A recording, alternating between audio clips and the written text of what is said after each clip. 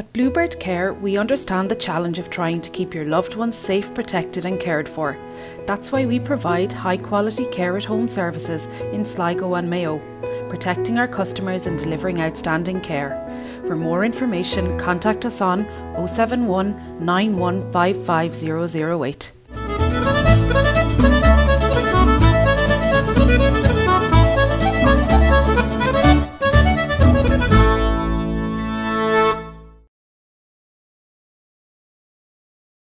Hello and welcome to our Breaffy Village COVID 19 special. Last week we took a look back at the Community Council, St John's National School, a nostalgic look at Breaffy Village, the local GAA club, and Breaffy Post Office.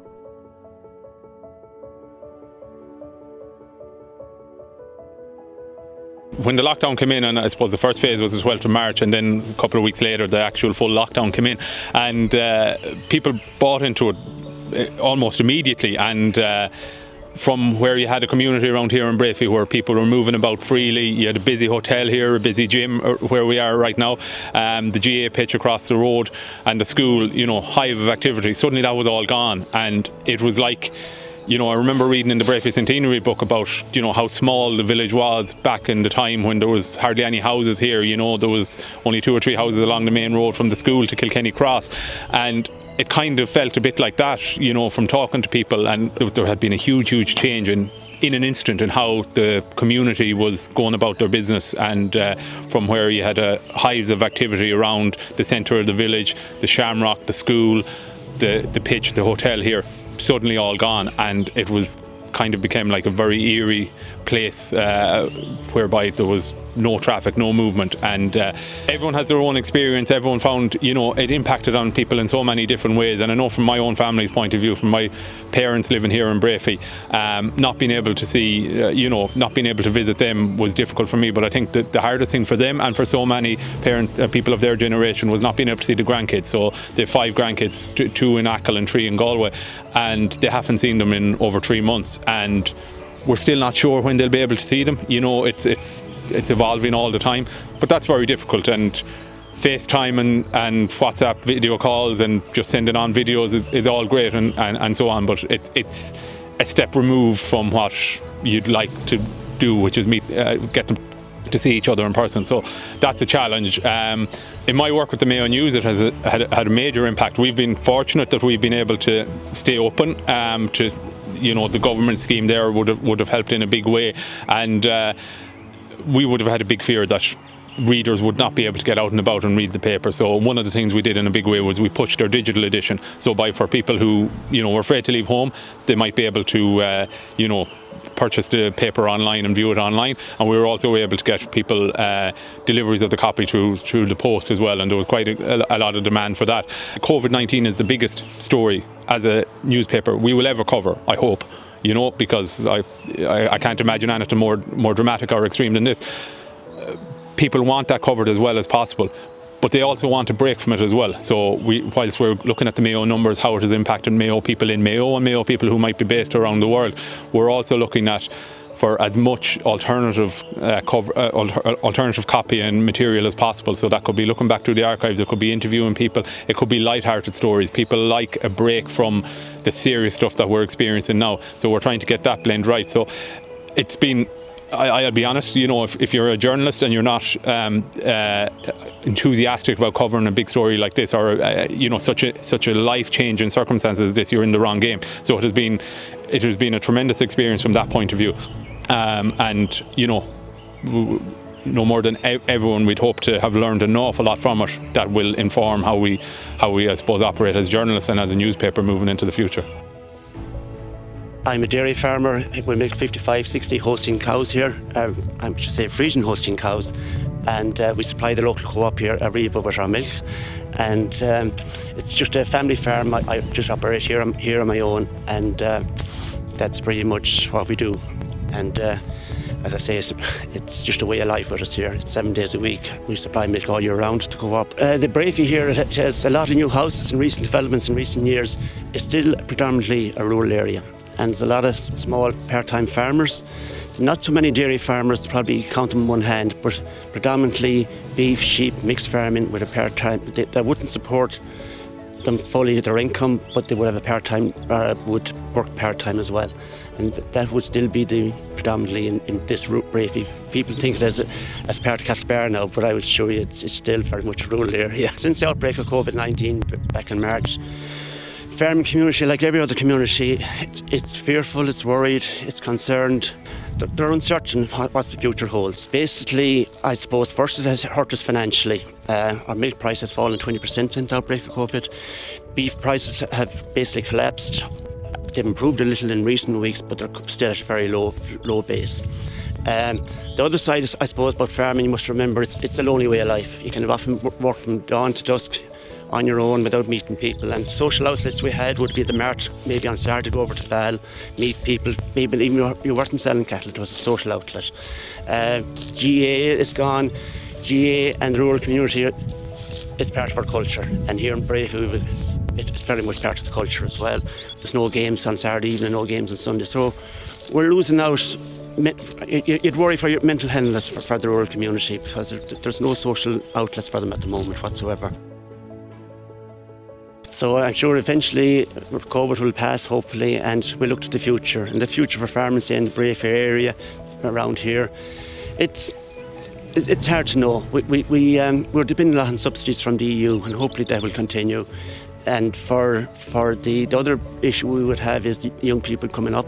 My son here, does he want to work 365 days a week, or a year, excuse me, and the lifestyle that goes with it. I think a lot of the young, younger people now would rather get, get educated and go to Dublin or get work in Castlebar. So that'll be another issue facing the agricultural community here in Breaffy and in every area for that matter. The future for me in farming is I'll continue on farming as long as I can. I enjoy it, it's the way of life. And I look forward after the COVID to get back into going back over to the Martin on Saturday, GAA matches on Saturday evenings and Sundays, and maybe sneak down to the Shamrock for one or two now again. There has been uh, a history of 25 card games here in the parish of Breaffy for a long number of years, longer than I can remember or can recall. Uh, I know in the Barney Community Centre, which is maybe just a mile from our clubhouse here, the Breaffy GAA club uh, decided to run the game. Uh, it was first run in the community centre over beside the school, uh, and then into the clubhouse here once uh, the, this building was built. Uh, so um, 25 has been part of the community here over the years. Everybody misses the game uh, on the Tuesday night, and a lot of these players uh, they'd be here on the Tuesday night. They could be somewhere else on a Wednesday, Thursday, Friday night. I know Zananta Mayon she plays six nights a week. Uh, it's it's her social outlet, but it has had a serious effect, especially on the older people.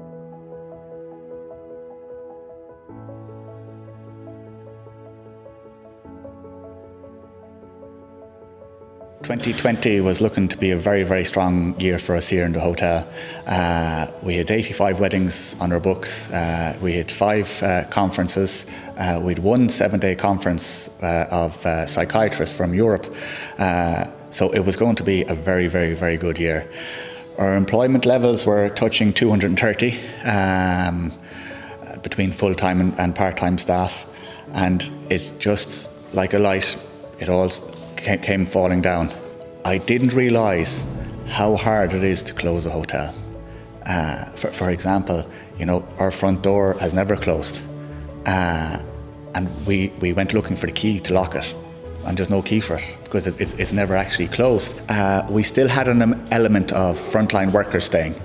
Um, so, for, for example, we have two doctors who stay with us uh, Monday, Tuesday, Wednesday, Thursday. Uh, and we have uh, any work that's happening in the hospital uh, or related to the hospital, th- they're, they're staying here. You're staying here because you need to stay here. You're not staying here because you want to stay here. Because uh, once you walk in the front door, you've got your questionnaire to fill out. Um, uh, you've got to present to us your uh, a letter from your employer to say that you're allowed to travel and that you're an essential worker.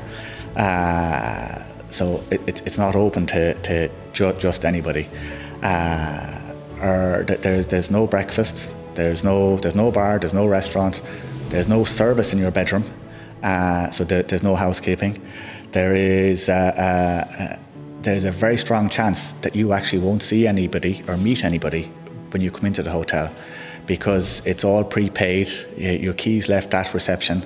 Uh, it's a very, very different setup. Uh, you can just look around our lobby, uh, there, there's no furniture. Uh, within the bedroom, you have got one pillow. Uh, there's no uh, extra facilities there. You, there's no spare blanket. There's no. The touch points have been minimised to, to stop this, the spread if there ever was to be a spread of uh, COVID 19. The whole experience for the guests, we've got to uh, uh, ensure and promote confidence in our cleaning practices within the hotel. It, that's going to be paramount. Um, so we'll, we'll have to promote how we're cleaning and how we're staying as best we can to stay safe. So one example, in, in the restaurant, is the menus are probably going to be a thing of the past. When you check in now, you'll get your, your phone, you'll scan a barcode at reception, and then that'll allow you to order your pint from your phone. It'll allow you to order your uh, um, food from your phone. If you're in your bedroom, it allows you to order your room service from your phone, uh, eliminating the need for, for, for, for menus. Um, and it's this sort of change that is so fast is going to just become the new norm. What we're working on now is our Céad Míle Fáilte, how we welcome our guests back because we're, we're knowing, known for our, our friendliness and our warm welcome and that's uh, amongst our staff, that's our biggest asset is, is our welcome. So we need to figure out now how we give the Céad Míle Fáilte in these new, uh, new times. But hopefully we'll have a warm welcome for everybody when we do open. It made it very busy. Well, it has a huge effect financially. Like we, we lost seventy percent of our business in for, for the two months. Now it has increased in the last couple of weeks since the builders have come back and that kind of thing. We've is, the business has improved quite substantially. Everyone has got, has got very busy. I'm a director at the Cleaning Corporation. We're a professional services contract cleaning business based in Breaffy just outside Castlebar in County Mayo. Um, this year we're celebrating our 25th anniversary, our 25 years in business in August. Um, established on the 6th of August 1995 by my husband John, who had worked in commercial contract cleaning in London and the southeast of England prior to moving back to Castlebar because he's a native of the town. And I suppose now, really, what we're looking at is COVID 19 and coronavirus and how it's affected our business. Um, we've been working in contamination control and fogging services and infection control for over a decade, and we would have been through other um, pandemics like SARS, for example, which is probably one that most people are aware of. Um, what COVID 19 has done, whilst probably half of our employees are currently not working because a lot of schools and offices are closed. Um, the businesses that are open are busy do cleaning, disinfecting, and implementing safety protocols for their people. Um, and, and, a lot of that involves us as a cleaning company to ensure that the environment that the people are, are working in is safe. So I suppose primarily the services that we're providing during COVID-19 would be things like ULV fogging, which is a disinfecting service where you close up a room and use a, a machine that provides a, you're fully suited up in all your PPE um, and you provide a disinfectant through the air to land on all your surfaces and disinfect them.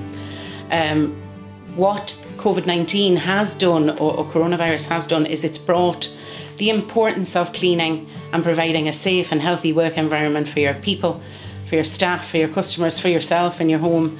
It's brought cleaning to the forefront um, of people's minds, which is, which is good for us. We've been here in the Shamrock at least 15 years, if not more. And it has been the part of the community all its life. We just love it here. It's, it's, it's our life, it's everything to us. And since it has closed up, it has left the whole community devastated. Last night was Sunday, March the 15th, And we decided ourselves it was safer to close because of the panic over this virus. To get back opened with the restrictions they're bringing in will be totally impossible because this is a country pub. The locals come in here, they sit at the counter, they love sitting up at the counter having the banter. And I cannot see it being feasible if we have to go around doing table service. If it's a thing that we are to get back up and running and we're to comply with the current proposed legislation, hopefully down the road it will have changed by then because it would not be practical for us if we take away all our, all our stools from the counter. If we have to provide uh, table service for the few tables that we have to comply with the two with the two meter two meter guidance that's there, I mean I estimate probably maybe pushing it we might get maybe 12 people in. To get those 12 people in you're going to have to add additional staff so you're at an additional cost. So I mean it would not there is no justification that you could manage to run that business like that. I mean, the government doesn't come down to the country and have a look and see what it's like in rural Ireland. It's totally different to the cities. And I don't know, will it be feasible to open? That's something we'll have to just wait and see. My name is Anto Heenan from Breaffy. I was born and bred in Breaffy, native of Breaffy. Uh, been here all my life. Run a small engineering company in Breaffy.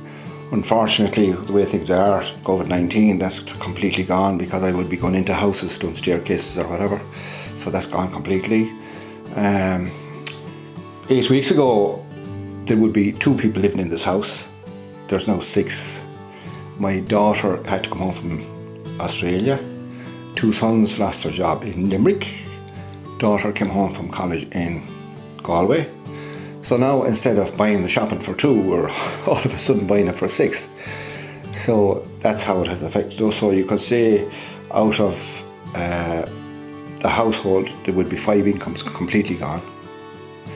My wife is a nurse, so when she comes home, we have to ultra careful when she comes home. So the whole thing has changed. The whole house has changed. So hopefully it won't last for that long. The one good thing about this is it has brought the community together. I see all my friends, I see all my neighbours. We go for walks, we explore explore walks in Breaffy that we never knew of before. Uh, how it has affected me is I am involved in the male voice choir in Mayo, uh, also involved in the vintage club.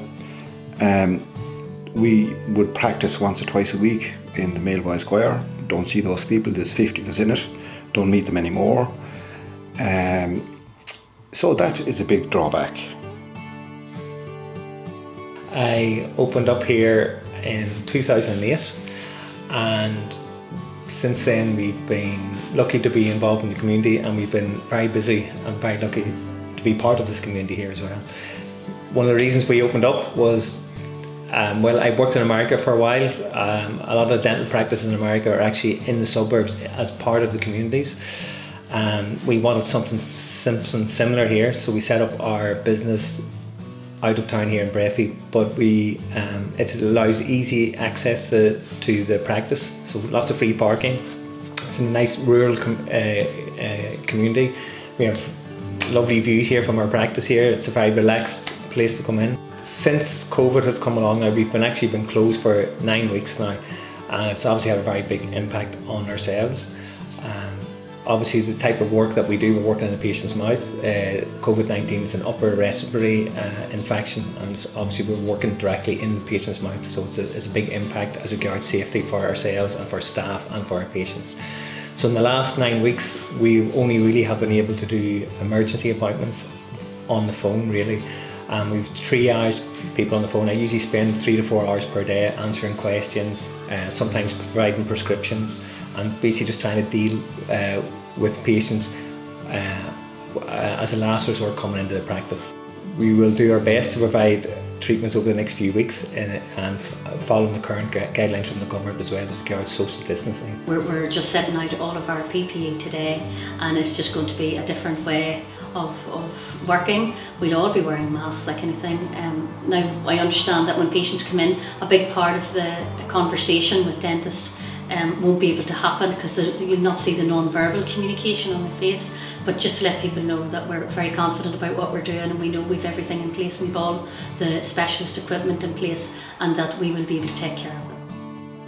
Part of our plans going forward would be to do to have a website which we hope to have up and running over the next couple of months which will allow people to in, be, inter, be interactive with the website and we also want plan to have walks or at least to develop more walks to create a better environment, to create possibly work opportunities, and also to look at different aspects of human integration. And one of the things we're doing presently is creating a social history by interviewing older people about their experiences and matching that with the younger people's experiences as well. And the future for Breaffy is going to be very good, I believe it is. And this COVID crisis, I think, has taught us a lot. The community is the most important thing. We cannot be selfish or insular in our thought process but that what we have to do is be more Christian in our thoughts and then be more Christian in the way we encompass all of us. We all have talents and that going forward we must